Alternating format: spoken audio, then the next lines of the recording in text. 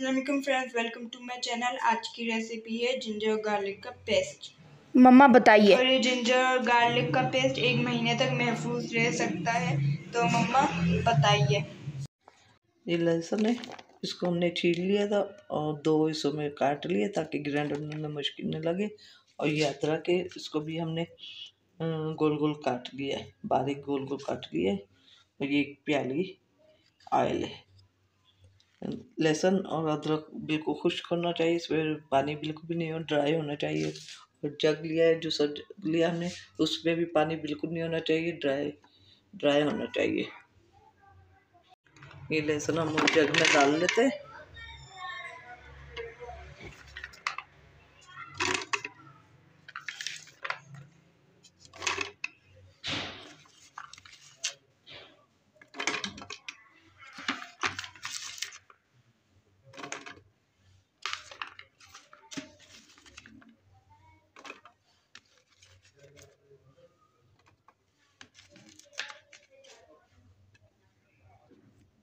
ये डाल लिया हमने इसमें।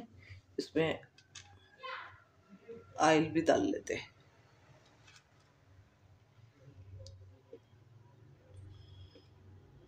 आधी प्याली ऑयल डालते इसको अलग अलग पैस बनाएँगे, अलग इसका पैस बनाएँगे ताकि अलग अलग जाल में रखा जाए। इसको ढक देते हैं। और इसमें पानी बिल्कुल भी नहीं होना चाहिए। इसको हम एक महीने तक महफूज रख सकते हैं। बगैर फ्रिज के भी महफूज रख सकते हैं। अब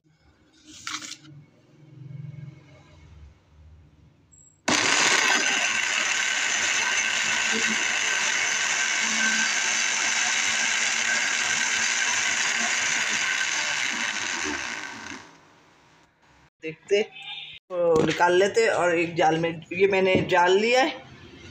ये बिल्कुल इसमें ड्राई होना चाहिए, ज़रा से भी भी पानी नहीं होना चाहिए इसमें, और इसमें डाल लेते हम। निकाल के।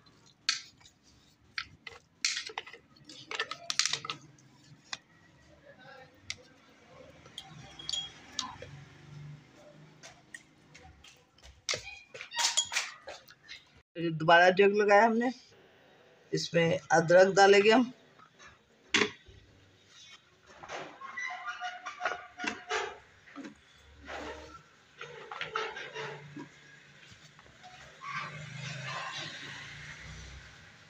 उसी जग में डाला है, हमने धोया नहीं है।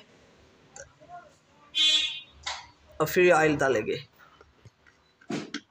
ऑयल हमने एक प्याली ली थी, कटोरी ली थी तो आधी लहसुन में डालिए आधी इसमें, अदरक में। अब इसको बंद करते, ढकते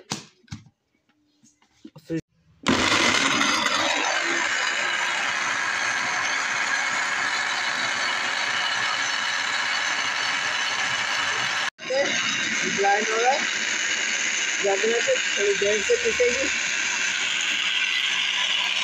इसको हिलाना पड़ेगा हमें बार बार देखते कितनी पिसी गई है।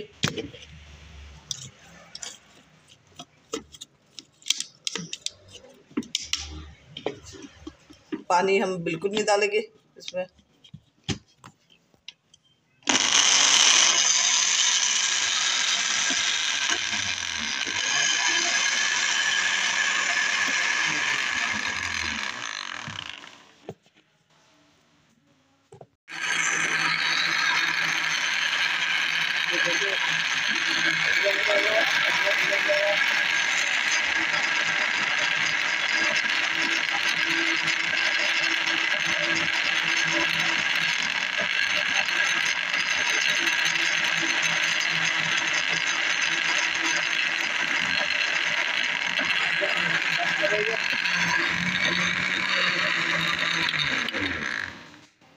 अब इसको खोलेंगे।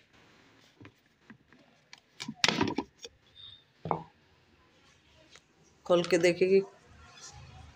ये देखे। कितना अच्छा ग्राइंड हुआ है।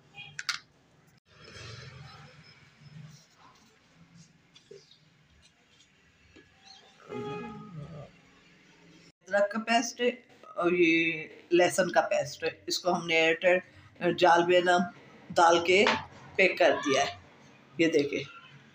ये बन गया है। इसको आप एक महीने तक महफूज रख सकते हैं। ख़राब नहीं होगा हरा नहीं पड़ेगा। बाज़ दफ़ा लहसुन, अदरक हरा पड़ जाता है, वो नहीं पड़ेगा। सिर्फ़ इसको ऑयल में न पेस्ट बनाना है। पानी बिल्कुल नहीं डालना। हमने बिल्कुल पानी नहीं डाला।